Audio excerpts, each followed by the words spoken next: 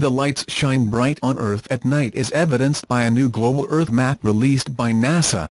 Composite images have been assembled to do what NASA is calling the Black Marble, a work of the famous blue marble image of the Earth taken by the Apollo 17 crew on December 17, 1972, relative. This new image, the first of the Earth as a whole in five years, was created by imaging the NASA NOAA Suomi National Polar Orbit Association satellite, which was launched in 2011 from the Vandenberg Air Force Base in California on board a Delta II rocket. It is part of a larger project in which the scientist Miguel Roman Earth of the NASA Goddard Space Flight Center wants to be able to update the Earth's nighttime images more frequently, even daily.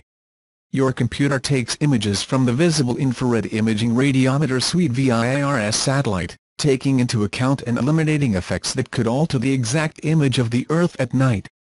That includes ways in which light is reflected or dispersed by things like the atmosphere, surface of the oceans, phases of the moon, seasonal vegetation, snow and even things like auroras.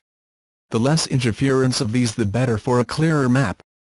So this new composite was taken from images of 2016 Albanian lakes, from all months of the year using the clearest night views.